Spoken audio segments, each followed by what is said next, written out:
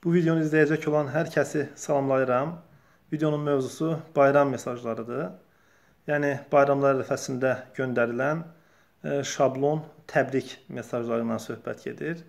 Fərq eləmir, yəni bütün bayramlara aiddir bu. Həmin bayramlar yaxınlaşanda xüsusi qrup tərəfindən hazırlanan xüsusi təyinatlı e, şablon təbrik mesajları olur. Yəni tutaq ki, Qurban bayramıdırsa, e, smayliklərdən qoyun şəkli düzəltmək, Əgər yeni il bayramıdırsa indi hal-hazırda kimi e, yolka düzəltmək, gözündən ürək çıxan smaylik, əl çalan smaylik, qışqıran smaylik, e, iki dənə zurna şəkli, axırda üç dənə üçbucaq kimi smayliklərdən istifadə edərək düzəldilən e, şablon təbrik mesajları göndərilir. Mən düşünürəm ki, bunun əvəzinə WhatsApp-ın imkanlarından istifadə edərək səsli mesaj göndərmək olar. Allah Markın canını sağ eləsin.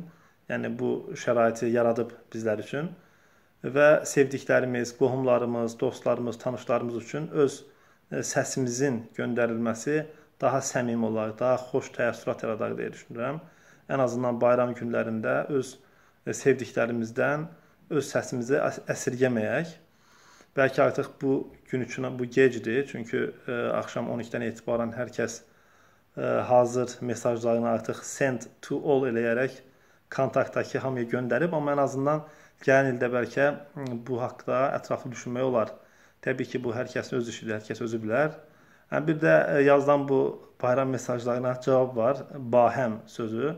Yəni bu mən də həmçinin deməkdir. Yəni bahəmin əvəzinə mən də təbrik edirəm yaza bilərsiniz. Bu mən də də də ayrı olur.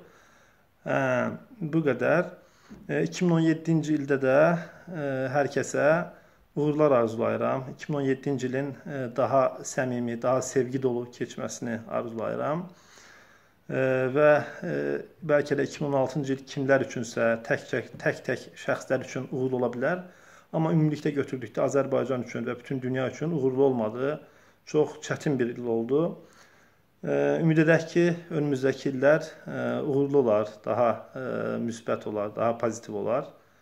Hər kəsə uğurlar diləyirəm bir daha. Dinlədiyiniz üçün də çox sağ olun. Hələlik.